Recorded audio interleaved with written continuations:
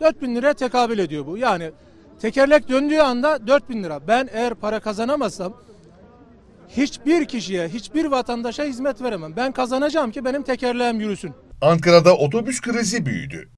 Artan akaryakıt fiyatları nedeniyle Ankara'da özel halk otobüsü şoförleri zam istedi. Bin, bin lira kazanıyoruz, iki bin liralık mazot alıyoruz. E bunun altından biz kalkamayız. Ankara Büyükşehir Belediyesi Başkanı Mansur Yavaş'la yapılan görüşmelerden uzlaşı çıkmadı. Anlaşma sağlanamayınca şoförler eylemlere başladı. Biz halkla biz karşı karşıya gelmek istemiyoruz. 500'e yakın otobüs şoförü 12 Haziran'da kontak kapatacak. itibariyle teker durdu. Depolar boş, depolarımızı dolduramıyoruz. Talepler yerine gelene kadar eylemleri sürdüreceklerini belirten şoförler 13 Haziran pazartesi günü de Büyükşehir Belediyesi önünde eylem yapacak. Mesainin ilk günü yani 13 Haziran'da başkentte ulaşım krizinin yaşanması bekleniyor.